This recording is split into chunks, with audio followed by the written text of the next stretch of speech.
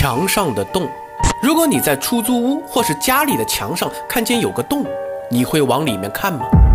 我是专家，今天这个都市传说没有什么超自然的东西，但是听完后让人毛骨悚然。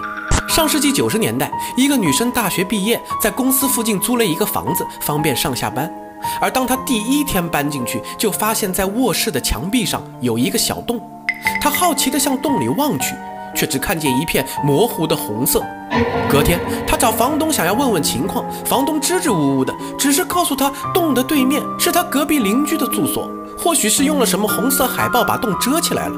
于是就这样过了一个多月，他也没有太在意，只是觉得晚上睡觉的时候有种不自在的感觉，每次看那个洞对面都是红红的。一次下班回家的时候，在楼道里，女孩一不小心撞倒了一个中年女人，而那个人披头散发，戴着口罩，爬起身来，头也不抬的匆忙就离开了。其他的住户告诉他，这个中年女人就住在女孩的隔壁。此时，女孩突然一惊，她想起了什么。就在刚才撞倒那个女人的一瞬间，她看到了那个女人的眼睛，就像得了眼疾一样，红彤彤的，很红很红。